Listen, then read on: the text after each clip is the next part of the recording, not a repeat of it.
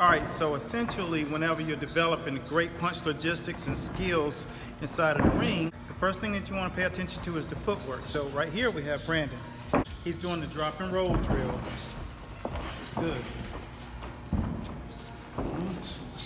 Good.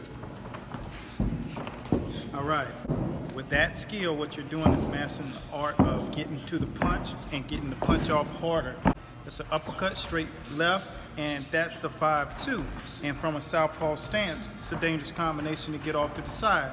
You slip outside of the jab, you pivot over here, drop a roll, and 5-2 right down the pipe. Look left, look right, pop the jab double. That's a super sequence. So as you look at it again, boom. Good. You want to learn how to throw it short and tight, boom, because you're right up under the chin, whop, whop. And that's all about footwork and placement. So as you continue to practice, you'll find yourself getting better at ranges and distances. That's what's gonna make your punch output and your punch effectiveness increase it much more.